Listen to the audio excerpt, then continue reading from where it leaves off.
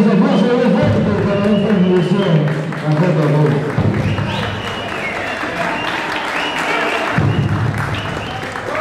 Eu te obrigado.